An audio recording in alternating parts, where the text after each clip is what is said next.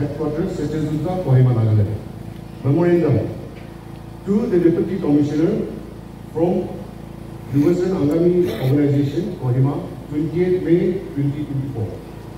The Western Angami Organization, YO, is deeply enraged and appalled by the murder of Mr. Kezhalelie Lawrence Miasalhou, political assistant to Deputy Commissioner, Kohima, on 18 May 2024 at Phoolbari, Kohima, by two young youths, namely Neizosetuo Kire and Khrietsonyü Whuorie, both from Kohima village.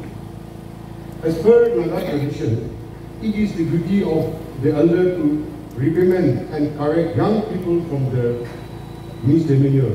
However, it is unfathomable and barbaric for young people to react with brute force to the extent of taking an elder's life.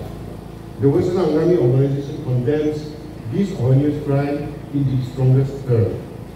The Western Angami organ Youth Organization therefore put forward the following demands. Number one, that the law enforcing agency to immediately arrest the two culprits. Number two, that the two culprits should be booked under all relevant sections of the law and be given explanatory punishment.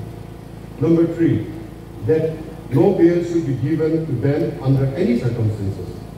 WAYO also warns that if any person or group tries to bail them out, they will be held responsible for any untoward consequences. The WAYO urge your office to treat this case at utmost seriousness so that justice is delivered at the earliest. Ni Dolian Presiden, Presiden YO, Ibu Rabi Mall, General Secretary Wayo.